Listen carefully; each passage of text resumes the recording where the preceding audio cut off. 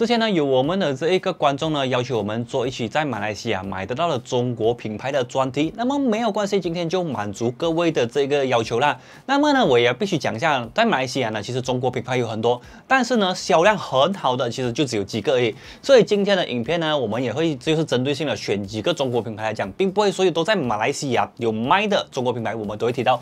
另外呢，吉利跟 Proton 这个品牌我们也不会讲到啦，因为大家知道，其实目前吉利主要是跟 Proton 进行一个合作。就是 Proton 会拿这个吉利的车款来贩售，所以严格来讲，它也不算是中国品牌啦。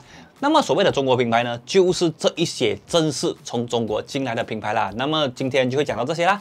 而在影片开始之前，也请大家先帮我们按赞、订阅、分享一下啦。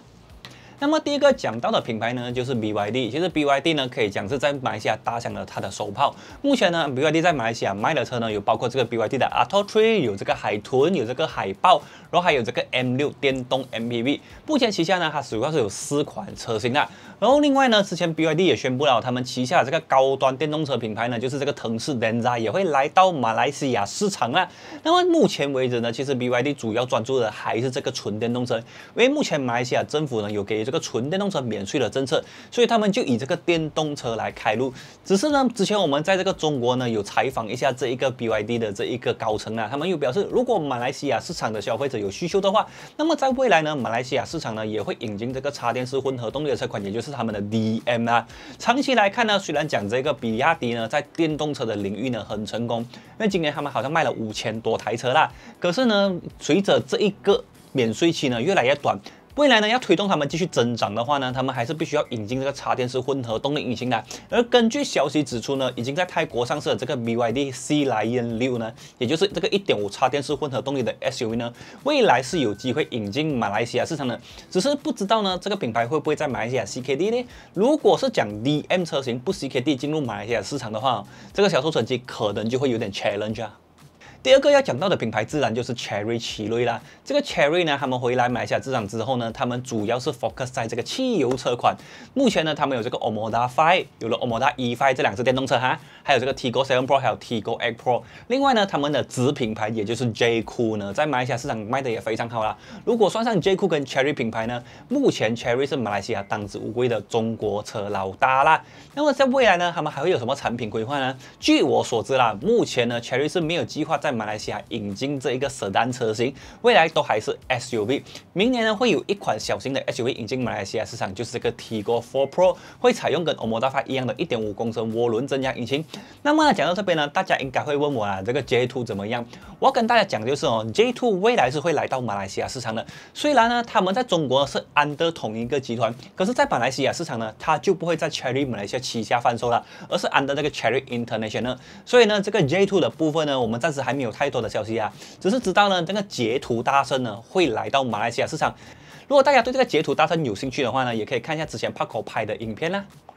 那么接下来要讲到品牌呢，我个人是蛮敬佩他们的。这个品牌就是 GAC 啦。那么讲到 GAC，大家会讲它的选错盘呢啊。其实我也必须讲啊，其实单冲 Group 哦，它里面是有很多子公司的，像是 Nissan 呢就是 ETCN Adaran 单中 Motor，然后呢像是 Subaru 呢就是 Moto Image，而在这一个呃 GAC 呢，它就是那个 Warisan 单中啦，其实是不同公司管理层也不同来的。而他们为什么会让我敬佩呢？主要的原因是因为他们是目前少数呢已经在马来西亚进行 CKD 的中国。品牌，他们的第一款车一开始是 CBU，然后之后就开始 CKD。目前 GAC 在本地呢有两个车型啦，就包括它的子品牌 ION。包括它的 iON Y Plus，还有这个 GSC GS 三 N Zone。那么我个人觉得 N Zone 是一款不错的车型啦。可是之前就有这个消费者讲到呢，它的触屏主机很累啊，什么等等等等，导致了一些车主的不满。其实我也讲老实话，之前我试驾这款车的时候呢，我的触屏主机是真的没有问题啦。可是我们的同事杰德呢，他去试驾这辆车的时候，他就讲他有遇到这个问题，所以我也不清楚是怎样的情况。不过呢，我也有问 GSC 关于这一个情况啦。可是他们也是表示啊，新一批的车子呢，在经过这个 OTA 升级之后呢，这个问题就被解决了，是不是真的？我们就暂时不知道啦，就看这个车主的回馈。而在未来呢，这个 GSC 还是有一些的 product 的 blending，例如讲这个影酷、M M 库这两是一个 C 型的 SUV，也会来到马来西亚市场，不过时间会在二零二五年。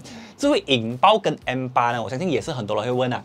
引爆呢，基本确定不会来马来西亚市场，除非等到它有一个 All New 的车型才会有考虑。至于 M8 呢，M8 已经出现在马来西亚市场。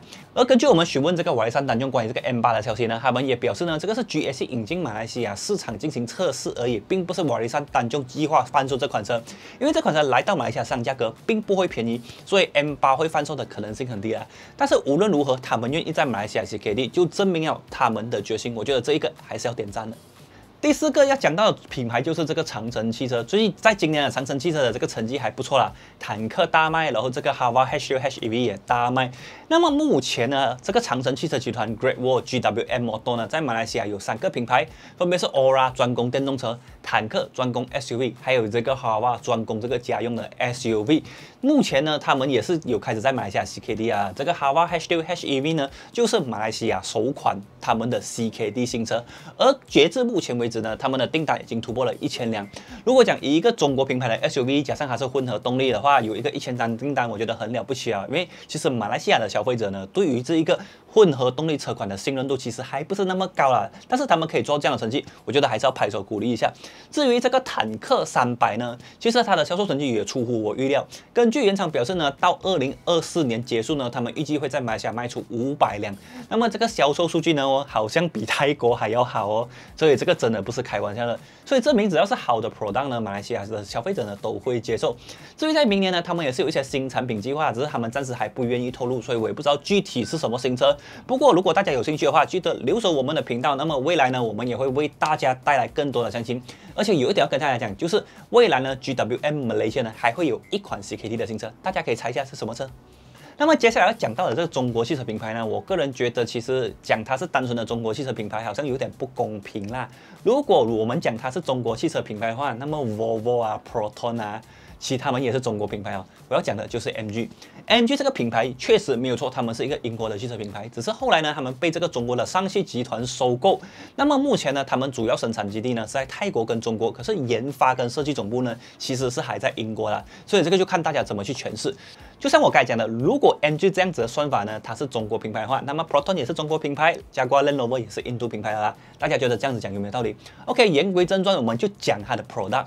目前呢，MG 在马来西亚呢有三款新车啦，就是 MG4 纯电的这个 B segment 的 crossover 或者是 hatchback，然后还有这个 MG ZS EV 一款纯电动的 B segment SUV，还有这个刚刚上市的 MG5。目前呢，据说这个 MG5 的 booking 不错啦，不过原厂暂时不愿意透露这个 booking 详情啦，可能他们准备过了一千。才跟大家 announce。那么这个品牌呢，其实他们也是很极力的要拓展马来西亚市场的业务啦。就是他们目前已经在着手这个 CKD 的计划，而且他们表示呢，未来呢，他们计划每一个季度就是每三个月发布一辆新车。而在刚刚呢，他们就公布了这个 MG 的 Cyberster 开放预定，然后明年还会有几款新车陆续来到啦。然后 CKD 的计划也在进行中。我相信呢，以这样子的做法呢，未来他们在马来西亚要站稳这个市场呢，其实是不难的。不过最主要的就是这个配备还是要有点竞争力啦。像是 MG5 整体都不错，但是就是这个 ADAS 先进主动安全配备少了一点点。我觉得如果稍微加强下，消费者会更愿意去买买单。所以明年我个人预测呢，会有这个 MG 三 Hatchback hash ev 然后还有这个其他的车型都会引进啊。那么大家觉得 MG 在马来西亚市场的前景怎样？可以在影片的下面留言给我知道啦。那么接下来要讲的这个品牌嘞，大家可能会有点意外，我要讲的是 Neta。Neta 在马来西亚的这个存在率呢，存在感其实并不是很高啦。目前有两款新车，分别是 Neta V 还有 Neta S。我也说老实话，其实 Neta V 也好，Neta X 也好，我本身开过这两辆车，其实整体的表现都不错。尤其是 Neta X，它的这个质感的部分呢，跟很多中国车相比呢，它其实都更胜一筹啦。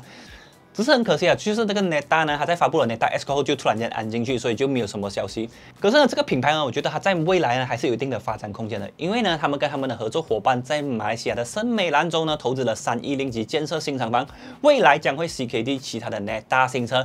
而根据他们之前公布的进程表呢，未来这个 Neta V 呢在 CKD 之后呢，它的售价会从七万五千块起掉，这个可以讲是马来西亚市场最便宜的电动车之一了啦。所以我觉得这个品牌稍微还是有一点期待值的啦，只是目目前呢，它在中国部分呢是有一点点不好的传闻之处了。